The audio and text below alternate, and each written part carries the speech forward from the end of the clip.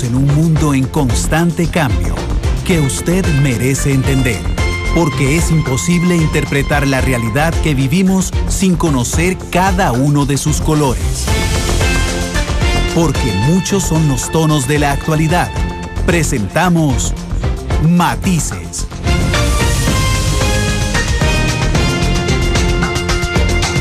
Una producción de Noticias Monumental.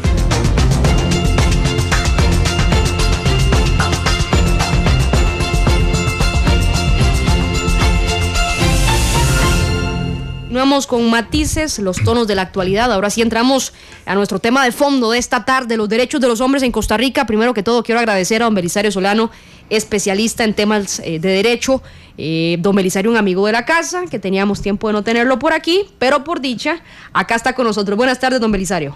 Buenas tardes, Fede. Un gusto de poder saludarle en un temazo. Sí, Sin duda que, se las trae. Ya decíamos, ya en redes sociales está explotando el tema sobre la igualdad, la desigualdad. Solo para contar una historia así, para como un abrebocas. Sí, un abrebocas. Hoy en la mañana recibo yo un caso en donde después de 12 años de relación de pareja, de matrimonio con dos hijos, hay una mujer que denuncia más de 100 violaciones por año durante los 12 años de la relación de matrimonio.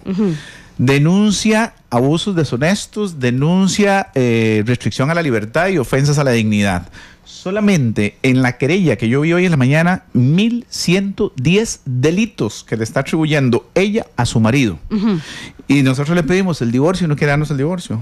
Entonces. Entonces, ese es el gran tema del gran abuso que hay de los derechos también. Los derechos, y eso es lo que vamos a ver hoy, don Belisario, más adelante también. Vamos a abrir la línea telefónica para escuchar no solo a los hombres, sino también a las mujeres y por supuesto cualquier consulta que usted tenga en temas de derechos con nuestro especialista. Don Belisario, la pregunta que sin duda alguna nos hacemos todos, que muchos tenemos cada quien su opinión, pero desde la voz del experto, eh, ¿están en desventaja los hombres con respecto a las mujeres en la ley de familia acá en Costa Rica? Yo le voy a decir algo que no le va a gustar a los hombres, pero yo creo que no. no. Yo creo que estamos en igualdad. Lo que no sabemos los hombres es hacer uso de los derechos. Muchas veces por el machismo aguantamos que la mujer me pegue, que la mujer me ofenda, que la mujer me agrede, en lugar de ir de inmediato a hacer una acusación por violencia doméstica y sacar a la mujer. Muchas veces yo tengo la, la, custodia de mis hijos y por mantener ese machismo no voy y demando en pensiones alimentarias a la mujer y que le pongan impedimento de salida. Muchas veces yo aguanto el acoso, el bullying, las ofensas y las agresiones y el desprecio en la cama como matrimonio o como pareja y no meto una demanda de sevicia porque el que dirán en la sociedad. Entonces aquí es un tema de equilibrio, es un tema de poder ejercer ese derecho como tiene que ser.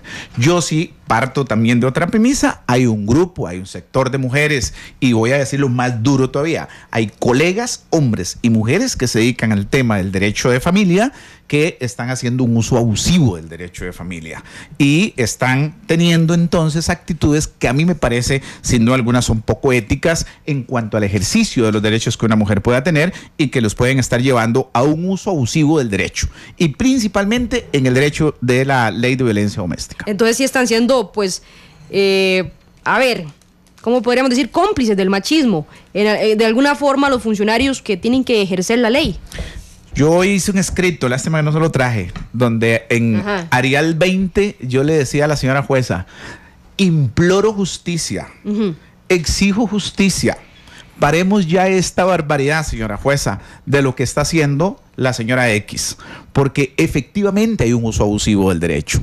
Hay gente que tiene una pensión alimentaria, mujeres que tienen una pensión alimentaria de 600 mil y hasta un millón de colones, que conozco casos, que no trabajan, que no tienen ningún, eh, ningún impedimento para trabajar, que no quieren estudiar ni siquiera, pero que quieren mantenerse a la luz de la ley de pensiones alimentarias recibiendo ese millón de pesos o ese medio millón de pesos que es más o casi que el salario de un periodista. Sí. Y entonces no hacen absolutamente nada, pero tienen ese ingreso que es casi el salario de un periodista o de un profesional eh, clase A o clase B. Y efectivamente hay algunos temas en los cuales el tema del derecho a familia está haciendo estragos en la sociedad. Don Belisario, nos pregunta ser Lucifo en Twitter y esa es una pregunta que yo me hice, de hecho, desde que mis papás se divorciaron. Yo soy hija de una familia divorciada y siempre me pregunté y nos pregunta ser Lucifo. A ver, ¿por qué los hijos se quedan con la madre? ¿Por qué es al hombre al que apartan de los hijos? Porque simplemente los padres no hemos sabido plantear el tema de la guarda. Ya hay muchos padres en los que ya eh, tiene la guarda de crianza y de educación de los hijos. O bien hemos ido logrando una guarda compartida eh, en este aspecto yo creo que hemos ido evolucionando. Hay papás muy responsables. Tengo casos, la semana pasada, eh, no, hace un mes, me llegó eh, una resolución judicial en donde una jueza de familia le otorga la guardia y crianza de, los, de las hijas al papá. Y este viene ejerciendo ese rol como tiene que ser. Por eso le digo, es el tema aquí es cómo ejercer ese derecho y cómo los hombres se deciden a ejercer ese derecho que la ley tiene. Porque la ley de violencia doméstica no es solamente para, para las mujeres, también es para los hombres. La ley de pensiones no es solo para mujeres, también es para hombres. Pensar hace un tiempo en que una mujer estuviera presa en el buen pastor por falta, por, por no pago de pensión alimentaria era una utopía. ¿Sí? Hoy día tenemos mujeres detenidas en el buen pastor. ¿ok? Porque no pagan pensión alimentaria. Y entonces hemos logrado ya un equilibrio. Lo que pasa es que tenemos que ir saliendo de ese capullo, de ese temor al que dirán, a la al bullying social, al reproche social, al tema incluso de la familia, a, ese, a esa sociedad machista patriarcal que nos creó a nosotros bajo esos parámetros. Y tenemos que ir rompiendo el hielo y empezar a abrir esa, eh, esa, esa línea de lucha para equilibrar los derechos entre papá y mamá. Don Belisario, ¿hay, ¿hay diferencia cuando el hombre denuncia violencia doméstica a cuando lo hace la mujer? ¿Hay alguna diferencia? ¿Se aplican las mismas medidas cautelares? Es decir, por ejemplo, a la mujer le dicen aléjese de la casa, al igual que pasa con el hombre. Qué buena pregunta. Muy buena pregunta. ¿Pasa eso? Yo siempre me he preguntado, ¿pasa eso? Yo he metido demandas de violencia doméstica a favor de hombres y efectivamente hemos tenido que sacar mujeres de la casa, igual con las mismas medidas. Pero en varias oportunidades yo tuve que hasta apelar al Tribunal de Familia para que los jueces de familia, de, los jueces de violencia nos dieran a nosotros las medidas de protección. O en su defecto por lo menos equilibrar, acumular los procesos y que vayamos empatados.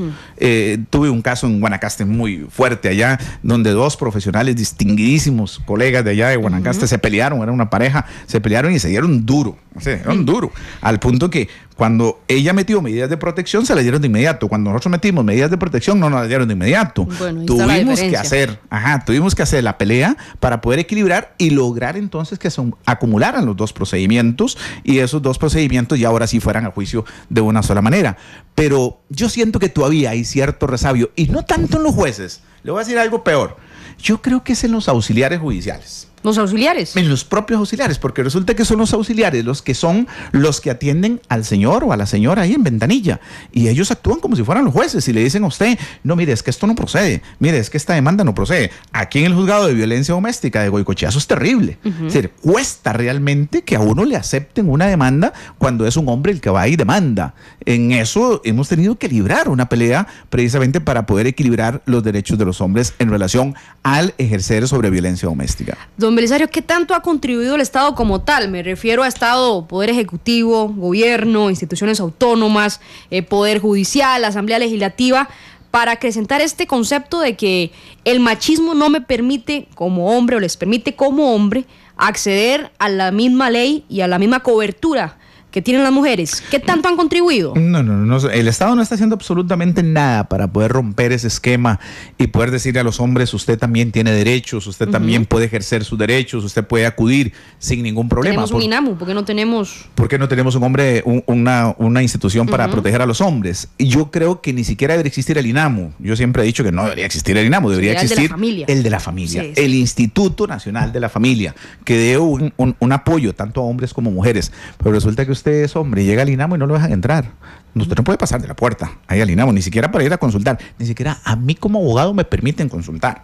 es increíble. ¿En serio? En serio. Es decir, eh, ahí surgió una fundación que es la que maneja la licenciada Eugenia Quesada, que es la Fundación Pro Defensa de los Derechos del Hombre, y ella ha venido haciendo un trabajo muy interesante en, en, la, en la lucha por la defensa de los derechos de los hombres. Y la Sala Constitucional le ha ido dando algunos detalles. Por ejemplo, la semana antepasada hubo dos recursos que se admitieron y que se acogieron con respecto al salario escolar. Porque resulta que el salario escolar es el equivalente a una cuota de pensión alimentaria en la mayoría de los casos. Y a veces una pensión de un millón, millón y medio de colones es muy elevada eh, y obliga al papá a tener que pagar millón y medio de entrada a clases. y a veces no tiene ni siquiera salario escolar. Imagínese. Entonces la sala dijo que acogía los recursos de, de, de habeas corpus en ese sentido y que obligaba a los juzgados de pensiones alimentarias a tener que fundamentar el por qué los gastos de entrar a clases y que haya una motivación y una fundamentación de la resolución. Eso es un gran paso, me parece que hay un, hay un gran paso.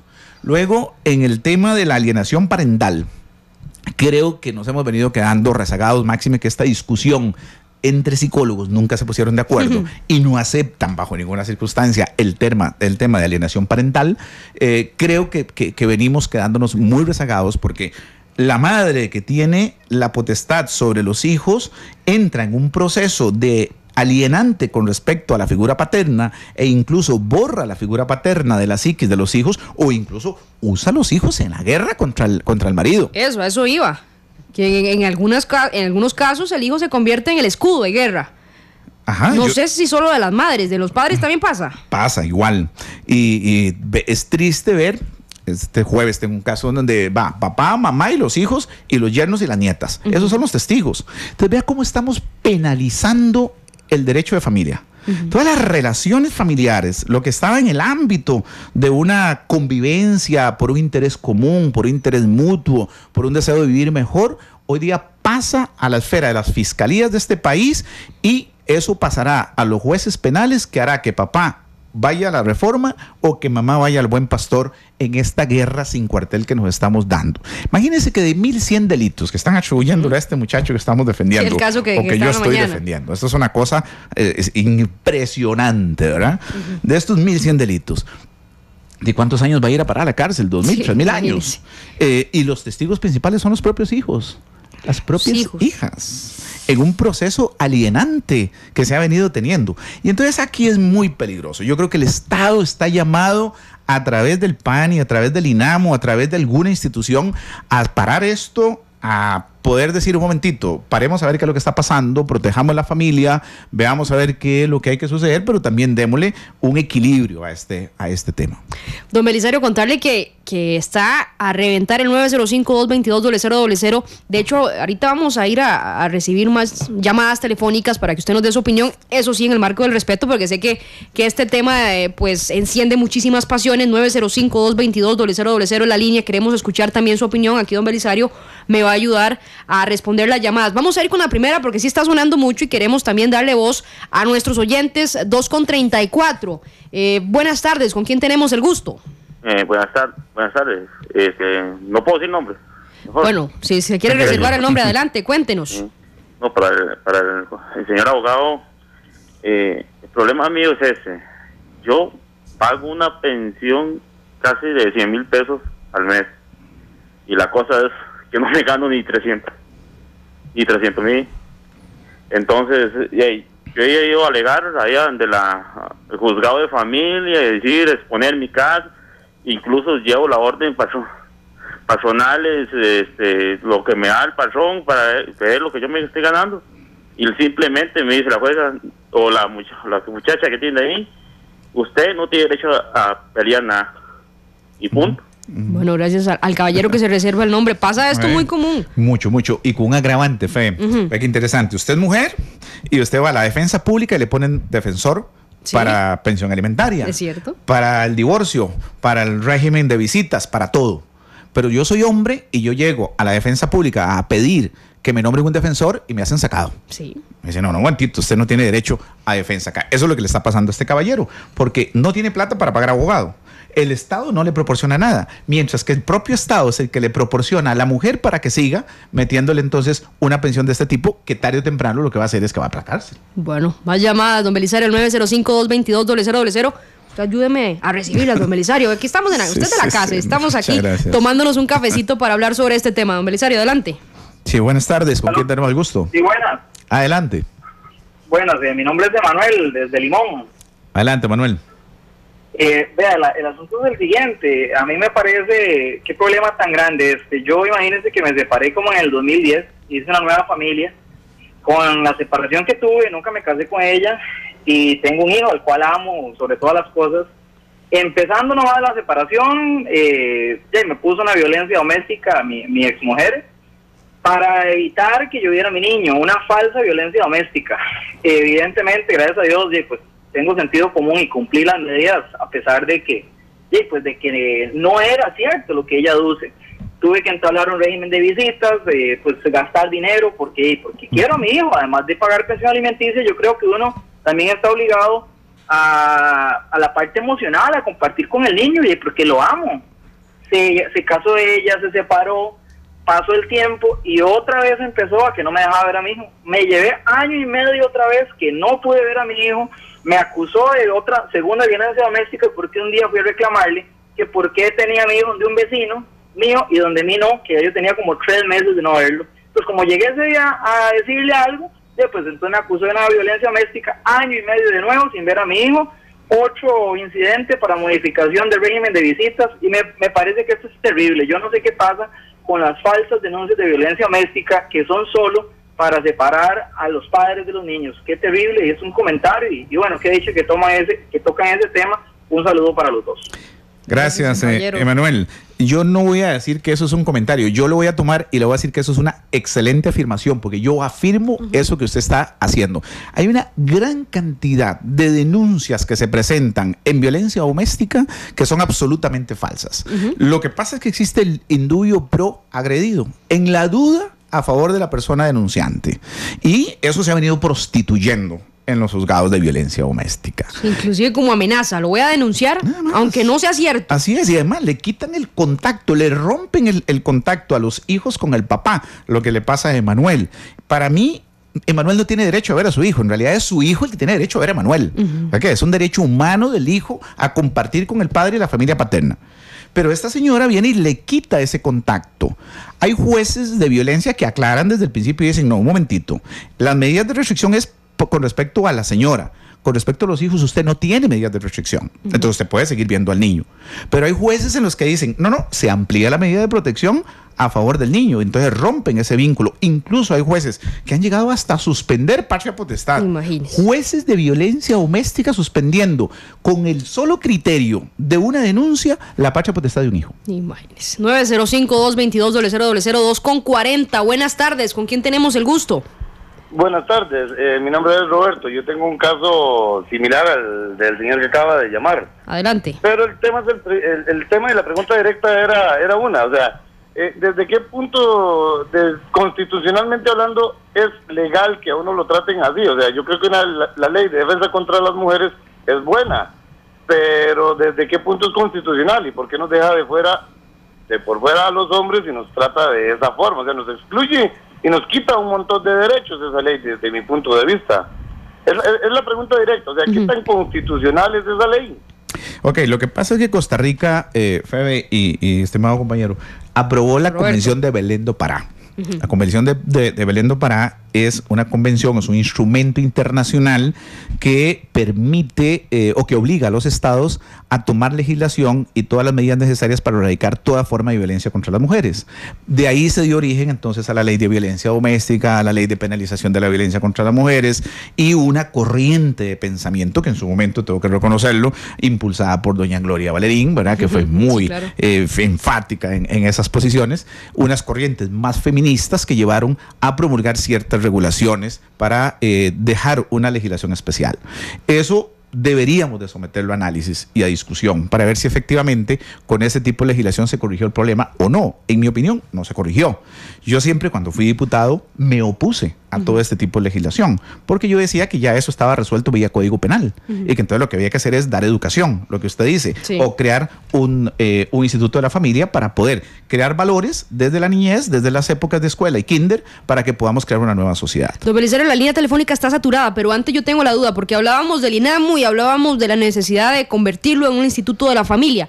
¿Hay alguna institución en este país que defienda a los hombres? Porque eh, he escuchado del WEM, pero pocos creo que, tienen claro que existe. Ajá, el Instituto WEN lo que da es asesoría o apoyo psicológico, básicamente para temas de trato de la, de la ira, el enojo y todo ese tipo de cuestiones. No hay una institución específicamente que se dedique a la defensa, a la defensa de los hombres. Se supondría que la Defensoría de los Habitantes en materia de género tiene que defender sin discriminación de ningún tipo. Eso es lo que, lo que existe. Yo tampoco creo que tengamos que crear un Instituto Nacional del Hombre. No, decíamos de, de, hacerlo, de ver la, la, familia de una forma integral. Integral, exacto. Como, como una pandemia que la violencia que ataca a, la, unidad de la, de la sociedad costarricense, que es nuestra familia. Estamos teniendo serios problemas ya a nivel de pandemia, ni siquiera es una, ya, es una cosa más grave lo que yo le, puedo estar diciendo acá, en donde se requieren políticas de Estado para poder corregir eso y a partir de ahí hacer un nuevo enfoque con respecto a, las relaciones entre los mismos eh, ciudadanos o, o, costarricenses. Dice el Puas en Twitter, no dejar ver a un hijo debería ser considerado secuestro. Es un acto para mí, y ha sido, así lo he acusado yo en varias oportunidades, es un acto de violencia infantil. Vos estás agrediendo al niño con no permitirle ver a su papá y a su familia paterna. Ok, más opiniones al 905-222-0000. 2 con 43. Buenas tardes. ¿Con quién tenemos el gusto? Eh, muy buenas tardes, con Eric Badilla, aquí en. Don Eric, adelante. Eh, eh, mi consulta es yo quiero mucho a mi suegro y a mi suegra, pero en este caso sería a mi suegro, que tiene 25 años separado y le pidió el divorcio por un X situación que ocupa hacer y la suegra, bueno, mi suegra no, la esposa no se lo quiere dar después de 25 años. Hay un hijo discapacitado, pero mi suegro se ha hecho cargo toda la vida y aún así él le da un parte de una pensión a ella y entonces ella hace poco le puso una pensión y él es recién pensionado. ¿Qué, qué pasa ahí o cómo se puede resolver eso? Muchas gracias. Muy simple, muy, muy simple, mi querido amigo. Después de tres años de separados, de hecho, ya puede pedir el divorcio. Así es que no hay ningún problema. Dígale a su suegro que busque un abogado, un abogado, ojalá especialista en derecho de familia, proceda al término del divorcio y a plantear la demanda de divorcio y ahí mismo se puede justificar si la señora necesita o no necesita la pensión alimentaria. Con respecto al hijo discapacitado, sí tiene el derecho el hijo discapacitado a la pensión de por vida. Bueno, ahí está ya la asesoría de don Belisario. Muy concreta, 905-222-0000, 2 con 44 más llamadas porque este tema, decía yo, iba a despertar muchísimas pasiones y consultas. Así es, don Belisario. Buenas tardes. ¿Con quién tenemos el gusto? Sí, buenas tardes. Eh, no, así anónimo. Don, ah, bueno, anónimo. Adelante, le iba a decir don anónimo. Adelante con la consulta. Sí, bueno, eh, hace muchos años eh, llegué con la mamá de, un hijo mío a, una conciliación de pensión y, de visitas del chico. Y bueno, ahora ya él tiene 10 años, hay una cuestión ahí de alineación parental y fundado mucho por la abuela del chico y hace mes y medio no puedo verlo porque ella dice que el chiquito ya no, no quiere venir y que ella no lo puede obligar. Yo recuerdo cuando hicimos la conciliación, ella solicitó que yo no pudiera ver el, el chico y la jueza le dijo que que eso no era posible, que eso puede ser hasta causal de eliminar la pensión. Quería consultarle al señor qué puedo hacer yo porque ella me dice que no va a obligar al chiquito a, que salga conmigo o que venga los fines de semana que me corresponda y que yo debo seguir con mi obligación alimentaria que nunca se ha fallado en ese sentido. De hecho fue por conciliación que, lo hicimos. pero, pero sí es molesto esa situación que no me deja verlo. Bueno, este es el caballero, el caballero anónimo, que no quería revelar su identidad, don Belisario, adelante. Sí, yo le aconsejo que de inmediato ponga el asunto en manos de la abogada o del abogado, ojalá especialista en derecho de familia, para que pueda interponer un régimen, eh, un proceso sumario de modificación del régimen de visitas, para efectos de que pueda inmediatamente intervenir psicología forense y trabajo social y tratar de hacer un análisis de la situación del niño para ver cuál es la causa por la que el niño, entre comillas, no quiere venir a ver a papá. Y que mientras le puede pedir al juez que mientras, para que no se rompa totalmente el vínculo, se pueda establecer un régimen supervisado. Y entonces, ok, ¿qué es que mi hijo no me quiere ver? Ok, no importa, traigámoslo a la cámara de Hessel, que es un cuarto en donde están los dos encerraditos a través de una ventana donde eh, los psicólogos y los trabajadores sociales están viendo desde afuera y a ver qué es lo que realmente el niño está queriendo o si realmente lo que está diciendo con respecto al niño que no quiere verlo es cierto o no es cierto. Si se determina que no es cierto lo que está diciendo la señora, mi querido amigo, yo le recomiendo hasta una acusación penal por abuso en el ejercicio de la patria potestad. Bueno, esta es la recomendación de don Belisario. Antes de seguir con las llamadas, don Belisario, eh, evidentemente el tema de la pensión alimentaria siempre da de qué hablar. Eh, y yo me pregunto, ¿está bien regulado? ¿Es un proceso justo? Eh, no solo las penas, que ya el tema de las penas se discute inclusive en el seno legislativo, pero todo el proceso para determinar los montos, determinar los plazos. Eh, don Belisario me hace cara como de que va a tirarme una bomba. Eh, tíreme la bomba, don Belisario. es justo. No, no, es que es lo que yo vivo todos los días, Fede. yo vivo desde las 7 de la mañana hasta las 8, 9, 10 de la noche, todo este tema. Es muy diferente litigar en Escazú y Santana que litigar en Cartago, por ejemplo, en Paraíso. Son parámetros totalmente distintos. Es la misma ley, la misma ley, y los parámetros de aplicación de los, de los montos de las pensiones es totalmente distinto. Cuando llegue una señora o un señor que vive en San Rafael de Escazú y le toca el juzgado de pensiones de San Rafael de Escazú, yo, a mí se me para el pelo, porque ahí los criterios y los parámetros para fijar son millonarios. Mientras que en Paraíso, porque viven ah. llanos de Santa Lucía, pobrecito, ¿verdad? Ah. Y entonces, un mismo caso que puede perfectamente fijarse un monto de 500 mil, 600 mil, un millón de pesos de pensión en Escazú, se puede fijar en 80 mil o 100 mil en Paraíso. Eso es lo que a mí no me gusta de esta cosa, cuando uno está en el día a día, en el litigio. Por eso efectivamente usted tiene razón. No hay parámetros objetivos, no se está aplicando de manera correcta la ley y no se está atendiendo a lo que verdaderamente eh, lleva la, pensión alimentaria, que es cubrir las necesidades básicas del acreedor alimentario. Y hay otro término, que se lo pongo así, que es el estilo de vida. Ese término ah, que se las trae. Porque vienen los jueces y dicen, bueno, yo mismo, cuando yo soy abogado, que, que el estilo de vida no significa ingreso que no necesariamente significa ingreso o, que, hay que decirlo o que puede significar que efectivamente usted está escondiendo su dinerito porque aparece en la caja que aparece con 300 mil pesos, pero resulta que anda con carro último modelo. Tiene dos, tres apartamentos, tiene piscina, participa en, en, ¿cómo se llama? En competencias de, de, en competencias de estas de automovilismo, en la, en la Guásima, viaja tres, cuatro veces al año, sale con la novia, se pone las fotos en el Facebook en Nueva York, en Disney y todo, pero resulta que usted tiene ingresos solo por 300 mil colones. Entonces, ¿Es o no es? ¿Verdad? Hmm. Entonces, aquí el concepto de estilo de vida juega para uno y para otro. Y eso es un tema absolutamente delicado que tenemos que bregar todos los días los especialistas en Derecho Familia. Más llamadas 905-222-0000. Eh, buenas tardes, ¿con quién tenemos el gusto? Buenas tardes, mi nombre es Andrés. Don Andrés, adelante con su consulta, con su opinión. Estamos abiertos a escucharlo. Muchas gracias, muchas gracias. Lindo programa. Don Belitario, un gusto saludarle y un gran abogado y ayudante nosotros las personas nobles. gracias, gracias. Deberíamos tenerlo aquí una vez por semana, por lo menos, don Belisario. Adelante, don Andrés. Gracias. Eh, mira, voy a hacerle dos consultas rápidas. La primera es, no hay eh, cómo regular el gasto de la pensión que se le deposita a los niños, porque eh, yo siento que a veces las madres no lo gastan en los niños, como debe ser y eso el gobierno no lo regula, o sea, no le pregunta, ¿tiene zapatos? ¿Se compró la comida? ¿Se compró los útiles? Eso por un lado. El otro es que, digamos, nosotros tenemos una empresa de transporte, ¿verdad? Y pienso que el trabajo se necesita para pagar la pensión, pero muchas veces mm, el, el chofer llega a la frontera y topa con, con, con la traba de que no puede salir porque paga pensión. Entonces, si no trabaja no puede pagar la pensión. No va de viaje de, de, lujo ni de gozo. Él va a trabajar, tal vez va tres días y regresa y en eso está.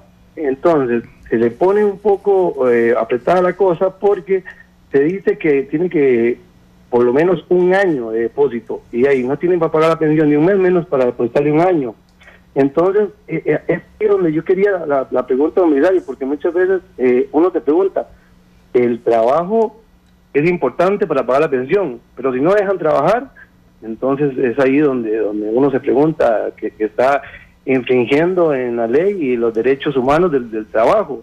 Además, inclusive hay muchas personas a veces que prefieren estar encerradas porque sus hijos no reciben lo correcto de, de, la pensión que ellos están pagando. Entonces, ¿para qué voy a pagar?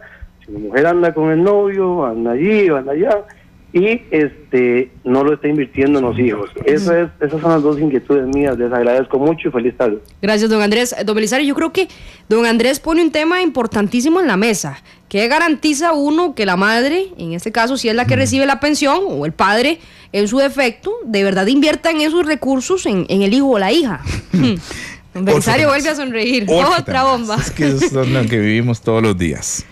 Los jueces de familia, los jueces de pensiones han dicho que la madre no tiene por qué dar rendición de cuentas de qué es lo que gasta. ¿Por qué? ¿Okay? Porque simplemente está dentro de los ámbitos o los atributos del ejercicio de la guardia y crianza y de la administración. Que si usted lo que quiere es coadministrar la pensión, eso es un acto de violencia. Eso es lo que han dicho. ¿okay? Eso es lo que han dicho los jueces. Eh, yo creo que hay que cambiar el concepto. Yo lo que me he encontrado es una puertica. Yo me he encontrado una puertica para poder darme cuenta. Cuando a mí me ponen eso y uno pide rendición de cuentas, o saber en qué es lo que se está gastando, dos millones de pesos en una niña de seis años, ¿okay? dos millones de pesos en una niña de seis años, ¿okay? entonces yo, bueno, vámonos entonces con un incidente de rebajo de pensión. Ese, mi querido amigo, es el consejo que le doy. Si usted quiere saber en qué, en qué se puede estar gastando la plata, entonces es muy fácil. Presente un incidente de rebajo de pensión y eso va a obligar a la madre a tener que justificar agua, luz, teléfono, comida, habitación, etcétera. Hay cosas de razonabilidad. Yo no voy a pedir una rendición de cuentas en una pensión de 100 mil colones, porque son 3.300 colones por día, que apenas alcanza para la comida. Cuando hablamos de rendición de cuentas, estamos hablando de aquellas pensiones eh, eh, exageradas, donde por una, por una niña de, de dos meses hay un monto de pensión de un millón de colones. ¿Ok? Entonces ahí tenemos que ir viendo a ver qué es lo que está pasando, ¿verdad? O por una pensión de, de, de 500 mil colones, ¿ok? En, para dos o tres personas, yo no me pondría a pedir una rendición de cuentas, porque solo un par de zapatos, un par de, de, ropa, e, esas cosas no, no, van conmigo. Pero sí hay ciertos casos en los que es necesario eh, poder determinar qué está haciendo la mamá con la pensión. Luego, en el tema de la salida del país, sí es un tema. Es un tema que hay que resolver. Los señores diputados deberían de meterle mano a esto. Porque efectivamente ahora la gente tiene que salir más fuera del país, son cuestiones de trabajo, hay que ir a buscar la plata afuera. Y hay mujeres que simplemente por capricho no le permiten la salida del domicilio. Ayer me pasó. ¿Cuántas son las cuotas que hay que dejar depositadas antes de salir? 12, eh, 13 o 14, dependiendo de... Sí. ¿Ok? Pues son 12 si no hay aguinaldo, pero todos tienen aguinaldo, entonces serían 13. 13 con el aguinaldo y 14 con el salario escolar. Entonces prácticamente son 14 mensualidades. Tengo un buen amigo que, tiene un, buen salario, de hecho, bueno, eh, medianamente, era un millón por mes y para salir del país hace unos días me dijo, eh, tuve que pedir 14 millones. Pues tiene un millón de pensión. Y tuve que irme 14, 14 millones para depositar estas 14 cuotas que usted dice. Ah, tiene un millón de pensión. Un millón de pensión. 14 millones, una barbaridad. la semana pasada me tocó hacer un depósito de 26 millones de colones para que la persona pudiera salir para ir a trabajar. Tres hmm. días nada más. Tres días. Tres días. Y para ir a trabajar, para tener el salario, para poder pagar la pensión millonaria de los dos millones y resto de colones que tiene por mes. Impresionante. Dos con cincuenta y cinco más llamadas telefónicas. Buenas tardes. ¿Con quién tenemos el gusto? Muy buenas tardes con Javier de Alajuela. Don Javier desde la Liga Liga. ¿Cómo me cuesta decir eso? Don Javier, adelante. se pone morada. ¿Todavía anda dolorida? Ay, no, esta, esta, herida no sana todavía, don Javier, pero ya casi, ya casi. Pero eh, está morada el colerón. Ahí, ahí te escucho todas las mañanas este, con lo mejor de lo mejor de, del periodismo nacional, eh, compartiendo con Randall. Y, y esas gozaderas que nos da cuando te oímos en ese en ese sufrimiento. Ya, ya, ya me puso hora roja, ya no estoy morada. Don Javier, adelante con su consulta, gracias. Eh, don Belisario, yo eh, pues siempre he tenido una, una duda, una pregunta que, se, que me hago y que me imagino que se deben de hacer la mayoría de los costarricenses eh, en referencia con la Asamblea Legislativa. Quería consultarle, en el Código de Trabajo dice que cuando un trabajador se ausenta más de dos veces en un mes, puede ser eh, despedido sin responsabilidad patronal si no tiene un documento que demuestre que fue por enfermedad o por alguna otra situación. ¿Por qué la, eh, los empleados de la Asamblea Legislativa pueden faltar a cuatro o cinco sesiones o cuatro o cinco veces seguidas antojadizamente, porque a veces lo hacen de una forma maquiavélica, digámoslo así, y, no son sancionados. Quisiera que tal vez usted me pudiera comentar algo. Muy, Muy simple, mi querido amigo, porque el régimen de contratación es muy diferente. El Código de Trabajo, artículo 81, establece como falta grave la ausencia a dos días consecutivos y en virtud de eso está claro, eso en el sector privado. En el sector público rige eh, normas totalmente distintas. La Asamblea Legislativa tiene su propio estatuto de, personal. Ahí está, don Javier, con una consulta laboral, eh, pero don Belisario, ya para volver al tema de matices, que es el tema de los derechos de los hombres, hay una discusión paralela en redes sociales, más allá de la que estamos llevando en esta mesa y también con la línea telefónica. De hecho, dice Barback en Twitter, las mujeres se pensionan antes, tienen al INAMU, licencias por maternidad que no gozan los padres. Pero le contesta Andrea en Twitter a Barback y le dice, no me quiero salir del tema, pero también está el punto de que las mujeres ganamos menos en cualquier puesto. Entonces ya empezó ahí el debate eh, paralelo también en las redes sociales. Vamos a ir una llamada más antes de ir a la pausa, ya después de la pausa sí vamos a seguir contestando, pero bueno, hay que cumplir también con nuestros patrocinadores. 2,57, buenas tardes, ¿cuál es su nombre? Gracias, Feber Cruz Brenes, gracias. José sí. para servirles a todos ustedes. Me faltó su segundo apellido, José. Es rapidísimo, entonces inicio. Un placer para todos, valga la redundancia. Adelante. Eh, mi ex esposa, eh, simplemente porque ya yo no le cumplí en la cama y porque había unos problemillas ahí con el hijo mayor que me le pegaba al menor, fui, fue y puso la, la demanda este, en, en la familia. Y llega el policía hasta mi casa y me dice que tengo que salir y le digo, ¿por qué? Le digo, si la casa yo la hice, yo la fundé. Me dice, es que con solo la declaración de la mujer, aunque sean mentiras, se le da mucha, mucha... Eh, credibilidad total. Eh, se le puede decir credibilidad total. a ella, se le da más, prioridad a ella, aunque sean mentiras. Y, entonces me sacaron de la casa y me quedé yo sin la casa porque ya yo ya no podía volver, porque si yo regresaba, entonces me iban a echar preso. Entonces, ¿qué me pueden decir al respecto? Ahí al, licenciado Belisario, por favor. Muy, muy simple. Vea qué importante este, este programa de hoy con respecto a los derechos de los hombres. A veces los hombres se confunden con respecto a que llega la policía y lo saca y entonces se quieren esposar y amarrar ahí a, la, a, la, a la sala y decir, esta es mi casa, yo la construí. No, no. Lo que hay que hacer es salir. Simplemente hay que irse. Tómeselo como unas vacaciones que se la está dando su señora, un año con todo libre. Así se lo digo yo cuando llegan a mi oficina eh, llorando, ¿verdad? Entonces, no, primero ubiquémonos. Ok, aquí está ya notificado, ya te sacaron, ya te cangurearon. Ahora sí, disfrute usted ese año de vacaciones y vamos para adelante. Pero es que mi casa es la que yo hice, es la que yo luché, fue sangre, es, es regalada por mi papá, por mi mamá. ¿Cómo es posible que ella se la deje? No, no, es que ese tema de la casa no lo vamos a discutir en violencia doméstica. El tema de la casa lo vamos a discutir en el divorcio. Y más bien cojamos este acto de denunciarnos por violencia doméstica como un acto más de sevicia y de trato cruel y humillante.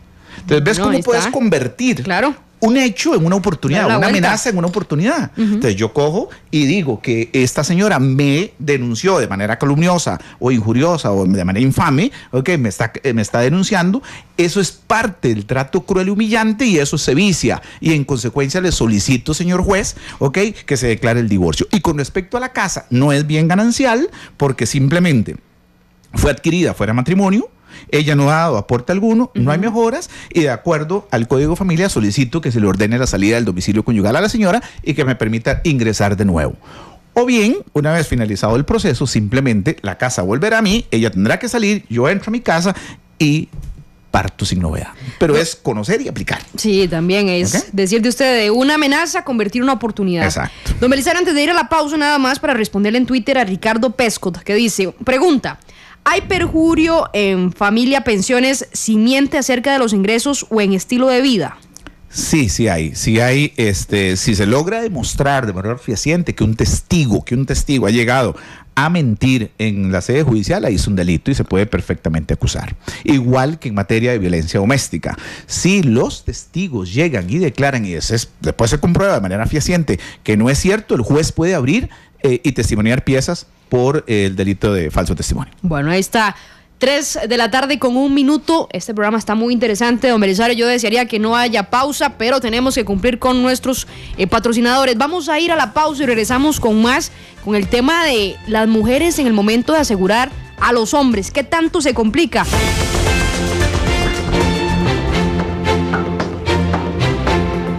3 de la tarde con 3 minutos. Continuamos con más de matices. Hoy nos acompaña don Belisario Solano, especialista en Derecho, para hablar sobre los derechos de los hombres en Costa Rica. Gracias a todas las personas que nos están haciendo el reporte de sintonía. La línea telefónica no ha parado de sonar durante todo el programa, por supuesto, porque decíamos, don Belisario, es un tema que de verdad despierta muchas pasiones. Quiero agradecerle al colega Cristian Montero, que nos dice en Facebook, excelente programa hoy, Matices, hablando de las violaciones a los derechos de los hombres bajo el amparo de una desastrosa ley de pensiones y otras leyes que favorecen la mentira y revanchismo de género.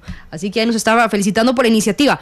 De hecho, contarle a Cristian y a las personas que nos escuchan a esta hora que este programa, eh, don Belisario, eh, surgió la idea en, la mesa de producción, específicamente de Randall, el director del espacio, por lo que pasó hace poco en Matapalo. Nosotros no cubrimos sucesos, es la línea editorial de Noticia Monumental, pero evidentemente no estamos ajenos a estas cosas que pasan en nuestra sociedad, donde un hombre agredido, un hombre que guardó silencio, estalló la olla, don Belisario, y vimos el lamentable caso de esa matanza allá en Matapalo. Yo creo que estamos viviendo una pandemia de violencia en el seno de la familia costarricense. Eso es como una, para que los oyentes me escuchen, me entiendan, es como una olla de presión donde usted está cocinando frijoles y por debajo le tiene gas y tiene cuatro llamas metidas y arriba donde está el botoncito no hay nadie que le esté haciendo para arriba levantándolo un poquito para que vaya quitando la presión. Y entonces de un momento a otro la olla de presión lo que hace es que explota y quedan todos los frijoles en el cielo raso. En muchos casos de la sociedad costarricense está pasando eso. Hoy me decía a la una, a la una y diez de la tarde un señor que me llama desesperado por teléfono llorando porque le habían impuesto una pensión para un chiquito de dos años de 325 mil colones. Y él lo que me decía es que me voy a matar, me voy a matar, licenciado. No. soporto lo que me acaban de hacer. No es posible. Yo vengo pagando 100, que es lo que yo puedo pagar. Me acaban de poner 325. Lo único que me queda es morirme. Yo no quiero ir a la reforma. Y más, lo recibo a las seis y media de la tarde. Eh, y entonces, bueno, primero tranquilicémonos, primero busquemos a ver cómo enfrentamos el proceso. Lo que se está sucediendo en la sociedad es ese caldo cultivo que no nos estamos entendiendo, en donde simplemente el revanchismo, en este caso concreto que le cuento, es porque el señor toma la decisión de romper la relación de pareja con la mamá del chiquito. Y entonces simplemente inicia otra relación de pareja con otra persona. Y en ese cobro de revanchismo, ¿ok? Dice, o termino con mi novia y vuelvo con ella para que me quite la pensión. Vea el nivel de desgaste y de descomposición social al que estamos. Se establecen este tipo de relaciones en las que el papá, el gringo, en este, en el caso Matapalo, ¿verdad? Por mantener el contacto con sus hijos, soporta lo que tiene que soportar, no se divorcia le construye atrás un, una, un dormitorio a la otra persona, se inicia toda una actitud de convivencia distinta a lo que son los parámetros normales de convivencia en nuestra sociedad. ¿Qué era lo correcto en ese momento? Bueno, de, separar, destruir el, el, matrimonio, divorciarse y que cada quien viviera por su lado y establecer el régimen de visitas como corresponde.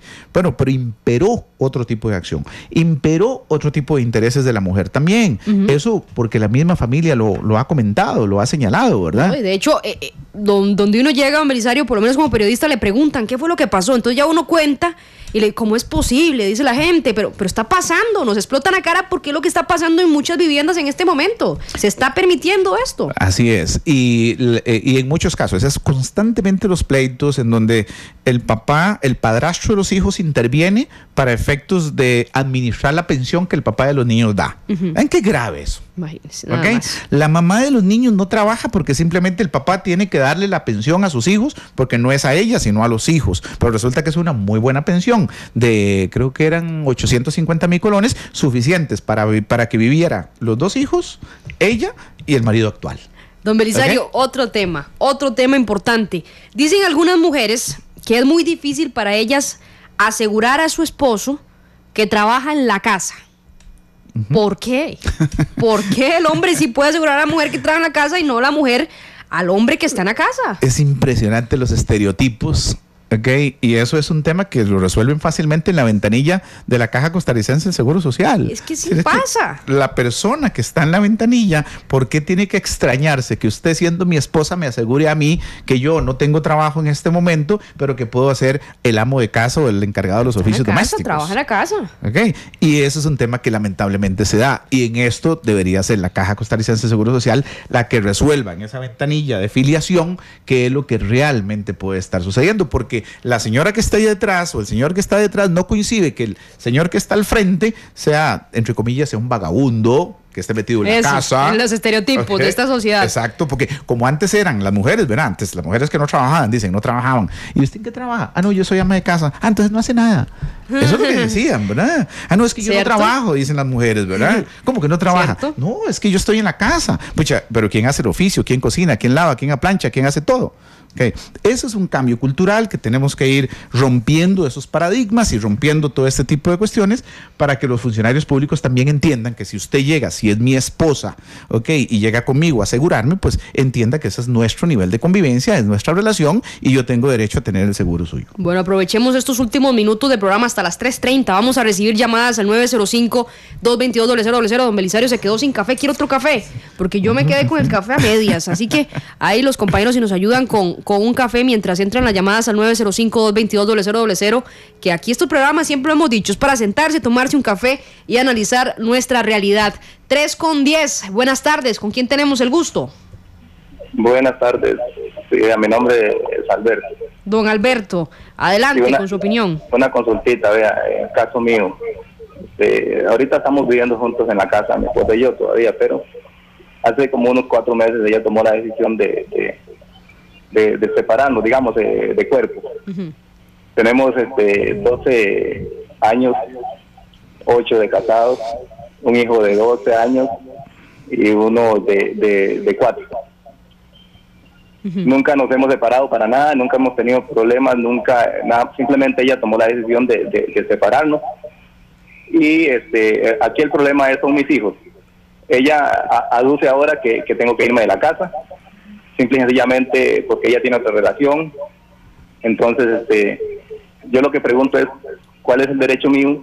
Porque mis hijos no quieren que, yo me separe, mis hijos no quieren irse, yo no quiero apartarme de mis hijos y, y aquí simplemente ella es la que decide terminar y ella es la que decide este, que simplemente yo me vaya de la casa. ¿Qué, me aconsejan que es lo que debo hacer? Porque cuáles son los derechos de uno como hombre, que, que, que, que ella es la que está decidiendo, ella es la que, digamos, en fidelidad y entonces este simple sencillamente me voy de la casa y mis hijos también se apartan de mí.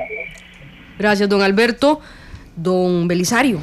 Ahí es donde estaba el tema original de este programa, que los hombres no ejercen el derecho, el derecho está. Exactamente. Ok, una forma de violencia, de agresión psicológica, es sin duda alguna que le pongan los cuernos. Sí. ¿Ok? Sí. Eso es pesado. De los dos lados. Y de los dos lados, exacto. Entonces, mi querido amigo, ¿Usted qué es lo que tiene que hacer? Presente la demanda de violencia doméstica. ¿Ok? Y pida que quien tiene que salir de la casa sea ella. Y hay que sacarla de ahí. Y luego, inmediatamente, si ya está determinado el tema de la infidelidad, pues presente la demanda de divorcio. Porque en violencia doméstica no vamos a ver el divorcio, no vamos a ver infidelidad. Eso lo vamos a ver en el divorcio. Son dos vías distintas. Recuerden que las medidas de violencia doméstica son para poner una frontera entre usted y yo, Fede. Si usted y yo somos marido y mujer, y usted me pone los cuernos a mí. No, no, no. Yo no soy así. bueno, ok, para el caso del señor. Usted me pone los cuernos a mí. ¿Qué es lo que tengo que hacer yo? Entonces, poner una frontera meto las medidas de violencia doméstica, pero inmediatamente meto el divorcio para poder disolver el vínculo matrimonial, resolver el tema de los gananciales y simplemente tener claro que la sociedad conyugal entre usted y yo no sirvió. Si yo te pongo los cuernos, exactamente igual. Usted va y pone la denuncia, pone la demanda, es un acto de agresión psicológica, usted está destrozada moralmente, usted está de que no vale nada, se afecta en su dignidad, en su amor propio y eso es un acto de violencia el adulterio como tal. Y usted me saca de la casa. Y ahora sí, me demanda también por el adulterio. Y de una vez disolvemos el vínculo. Don Belisario, si hoy podemos dejar eh, en todas las personas que nos escuchan una semilla, sería de hombres, ustedes también tienen derechos, utilícenlos. Estado, eh, capacite a los hombres para que les dé a conocer qué es lo que tienen derecho ellos también, porque simplemente eh, dan como por un hecho de que la ley no los va a ayudar y la ley está al igual que al lado de las mujeres, también de los hombres. Más llamadas 3 con 13. Buenas tardes, ¿cuál es su nombre? Bueno, ahí nos colgó. Ahora sí, 3 con 13, ¿cuál es su nombre? Mi nombre es Alberto. Don Alberto, adelante. Y la situación mía es, es como la que hace un señor habló ahí. yo pago pensión hace ya rato.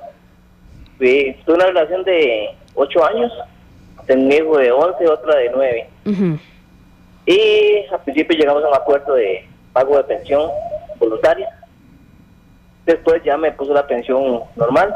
Me gusta que yo sigo normal depositando. Y hubo un tiempo en que, bueno, ya yo cuando me formé otra familia, con otra muchacha, entonces, por eso me puso la pensión.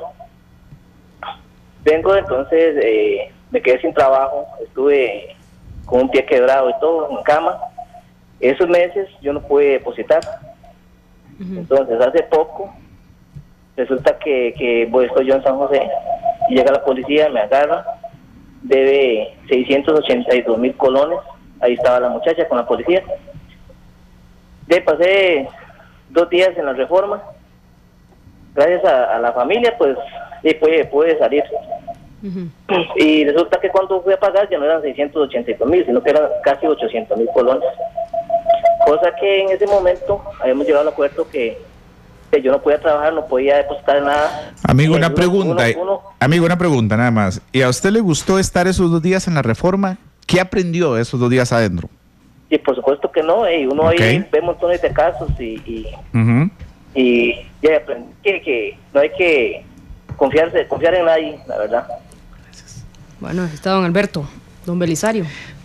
Ahí es donde te faltó un detalle, mi querido amigo, que es el conocimiento de la ley o que te hubieran aplicado a ejercer ese derecho. ¿Qué es lo que tenías que hacer? En el momento que te enfermas, en ese momento interponga un incidente de rebajo, de, un, incidente de suspensión de pago de pensión y subsidiario de rebajo de pensión. Entonces ve cómo, cómo se, se, establece, porque el artículo 173, inciso 1, dice que nadie está obligado a pagar pensión alimentaria si no tiene para cubrir sus propias necesidades. Primero, uno tiene que cubrir sus propias necesidades y después las necesidades del resto. Entonces, ¿qué le faltó al amigo? Lamentablemente, la asesoría legal. El Estado no le brinda a este señor la asesoría legal como para poder ir presentar a través de un abogado la, el, incidente de suspensión de pensión por imposibilidad de pago, porque está enfermo, está quebrado, no puede trabajar, o en su defecto, el rebajo de pensión. Ese es un mecanismo legal. El otro mecanismo legal era haber solicitado un incidente de pago en tractos.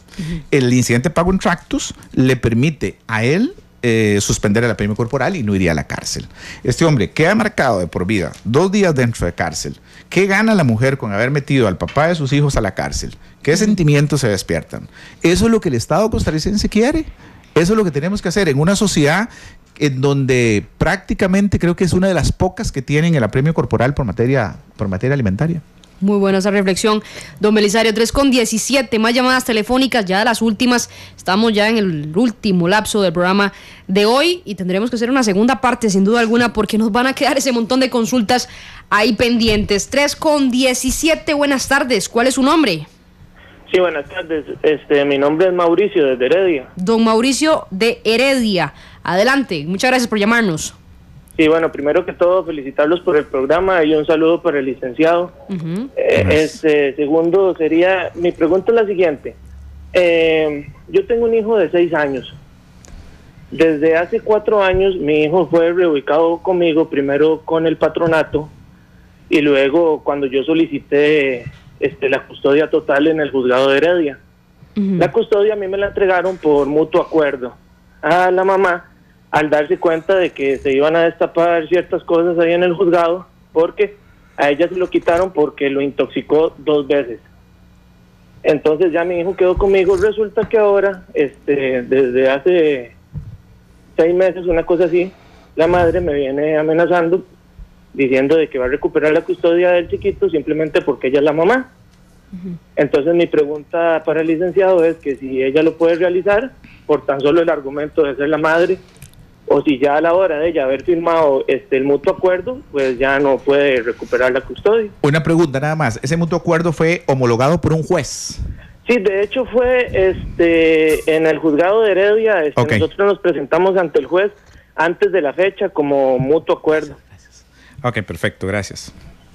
Mire, mi querido amigo, para que le cambien la guardia de crianza no es tan fácil. ¿okay? Tendrá ella que presentar un incidente, un proceso nuevo, un incidente de modificación de la guardia crianza, justificar que ya está en mejores condiciones que usted para poder darle la crianza necesaria a, su hijo. De tal manera que prepárese simplemente, ya tiene derecho a presentar la demanda, eso nadie se lo puede quitar.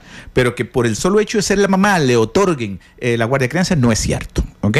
Lo más que podría ella intentar es sí tener un buen régimen de visitas. Eso sí, porque es la mamá, no se le puede quitar el derecho a compartir con su madre, a pesar de los hechos que eventualmente se pudieron haber dado y sin que esa interrelación familiar pueda atentar contra el interés superior del menor. Eso es muy importante, ¿verdad? Yo tengo un caso en el que la mamá le, metió una fagia a su hijo y lo dejó marcado en la cara. Obviamente le quitamos el niño a la mamá, se lo dimos al papá y ahora el juez de familia ha venido entre un gallo gallina tratando de hacer un régimen medio supervisado para tratar de reconstruir el lazo afectivo entre, entre madre e hijo. Es complicado. Y, sí, en algunos momentos el niño ha dicho, yo quiero ver a mi mamá.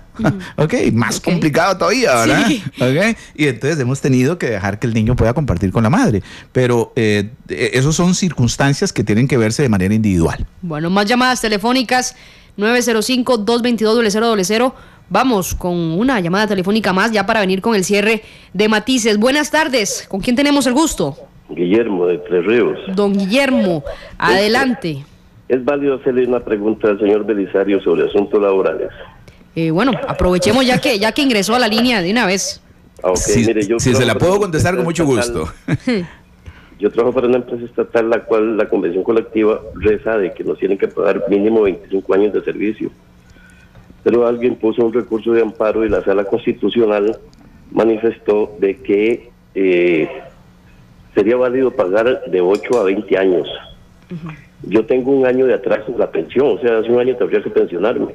Lo no encuentro ningún camino sencillo o, hábil para, para recobrar esta, pues para tomar la pensión y recobrar por lo menos 20 años. Muchas gracias.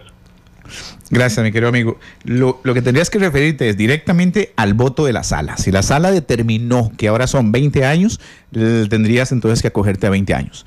Eh, en, ese, en ese aspecto no hay nada que hacer porque las resoluciones de la sala son vinculantes, son erga omnes y en consecuencia la institución pública que maneja esa convención colectiva tiene que acotar lo que, aceptar lo que ha dicho la, la sala constitucional. De lo contrario, mi consejo es pensionarte, recibir lo que tengas que recibir e iniciar un proceso contencioso y ahí vas a discutir la diferencia a ver si es procedente o no.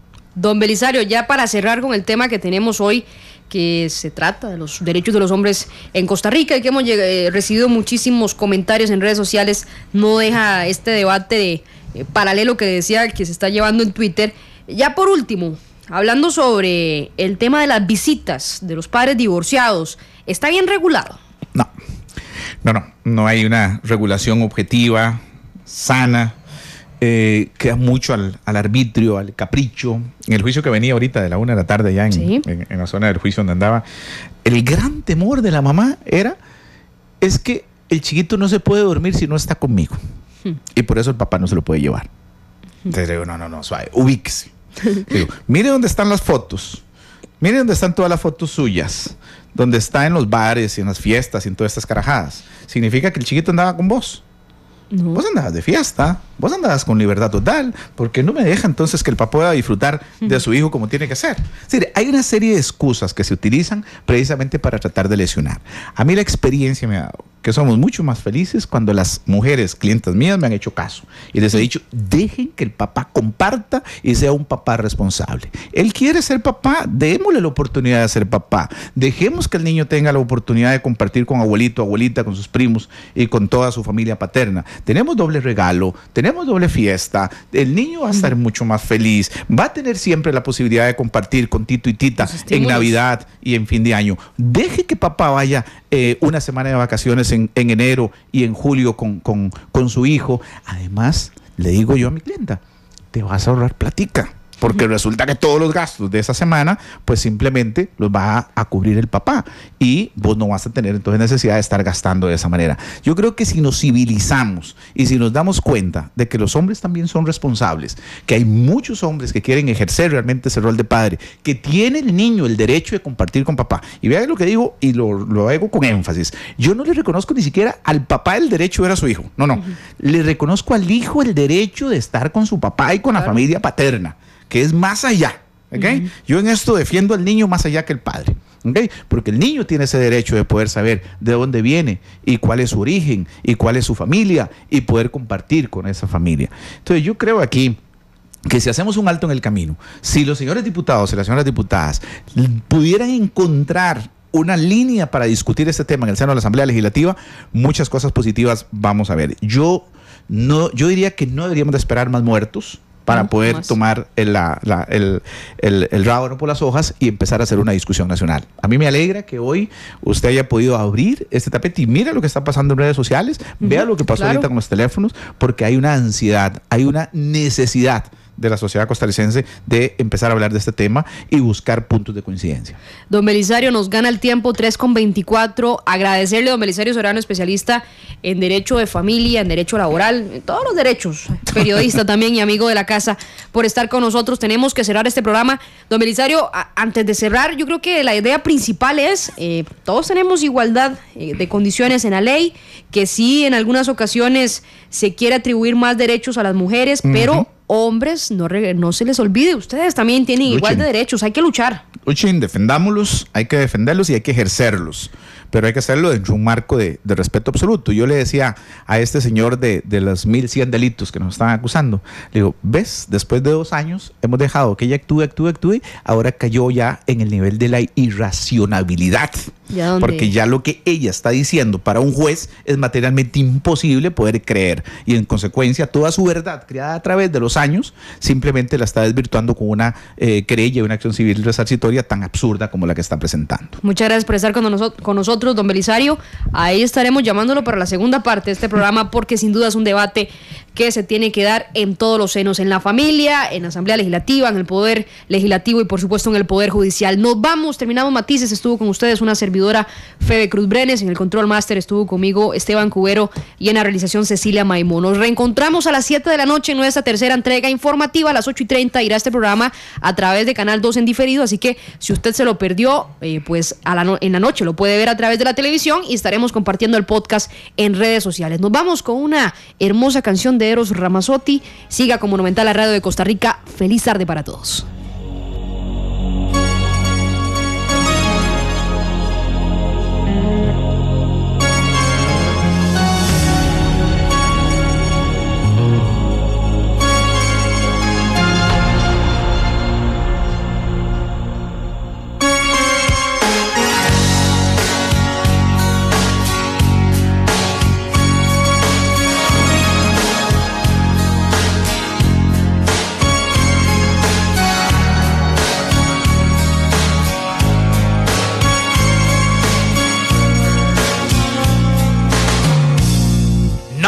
Puede